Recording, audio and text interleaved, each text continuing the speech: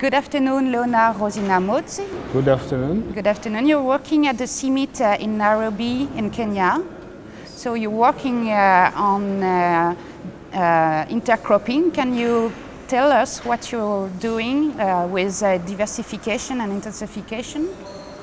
Uh, firstly, we, we work within the realm of sustainable intensification. So we are working in maize-based systems. We are promoting the use of legumes. So instead of farmers monocropping maize every year, we are encouraging them either to intercrop, uh, normally maize with common bean or maize and cowpea, or also if, if they cannot intercrop, then they do rotation. They, then they grow maize on its own and cowpea on its own, then they rotate the following year. What are the advantage for the farmer to grow different crops in uh, the farms? Well, firstly, um, it's to do with risk. So if one crop fails, you are, especially if you grow different species of crops like legumes and cereals, if the cereal fails, you're likely to get a legume. Normally legumes are drought resistant like cowpea, pigeon pea. Uh, the other uh, advantage is also nutrition diversity because if you have legumes, uh, you contribute to protein nutrition already instead of just cereal every day. So you can mix uh, maize and beans, maize and cowpea or pigeon pea. So um, also in the ecosystem, you see uh, legumes also contribute to biological nitrogen fixation. So you increase your soil fertility, you increase your nutrition.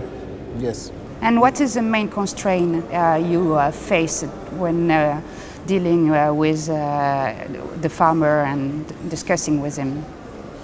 Well, the major issues are well, the agriculture is rain-fed, so because rainfall is normally erratic, so farmers cannot really plant, so the risk is very high. Uh, there are also issues to do with soil fertility.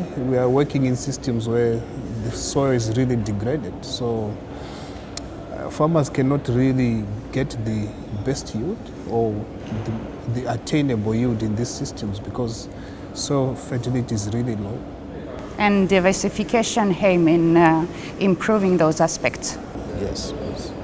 So the other issue also problems is farmers' access to improved seed. So you see for legumes mostly uh, farmers uh, recycle seed pass on to villages, to fellow villagers, so they exchange each and every year, but they don't have access to seeds which have the high yield potential. Okay. Thank you for your um, your inform your comments on this question.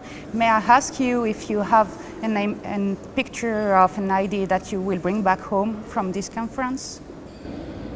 Uh, yes, uh, I, have learned uh, quite a few uh, issues when I was here. I've learned how to, well, apply some of the concepts on uh, sustainable intensification, for example. Um, we see that in Europe, uh, farmers use quite a lot of resources in, in, in, in crop production. So the idea is for us now is to link farmers to private players so that we raise if it, the input the amount of fertilizer.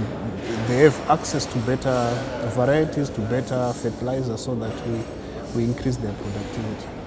So you will bring them those uh, seeds? Yes, we will share with this uh, kind of ideas. So try to link them to service providers and uh, sort of like a feedback mechanism where we, we discuss new ideas so also they can tell us what they think about these new ideas. Okay. Thank you very much.